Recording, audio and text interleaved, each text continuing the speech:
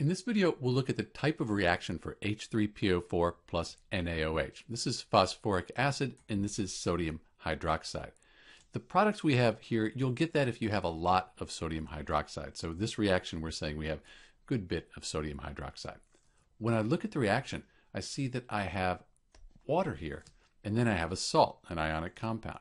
So if I have a salt and I have water, I'm thinking probably going to be a neutralization reaction. Over here, this is H3PO4. This is phosphoric acid. And I can tell it's probably an acid because there's an H in the front. It's probably a good one to memorize as well. For NaOH, sodium hydroxide, I have a metal bonded to an OH. So a metal with this hydroxide, that's going to be a base. It's helpful if you memorize this table of common acids and bases when you're studying chemistry. It just makes things a lot quicker. Let's look at a table of common types of chemical reactions here. We can see on our table that we do have our neutralization reaction. We have our acid and base gives us salt and water. That's the pattern for neutralization. But this is also considered a double replacement reaction.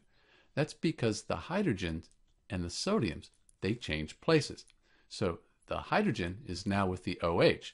That gives us HOH, which is H2O. Then the sodium, the Na, that goes with the PO4, and we get our sodium phosphate. We should probably balance this equation, though, for it to make sense. Looks like we need 3 and then 3. So now the equation's balanced. The type of reaction for H3PO4 plus NaOH, it's double displacement and neutralization. This is Dr. B. Thanks for watching.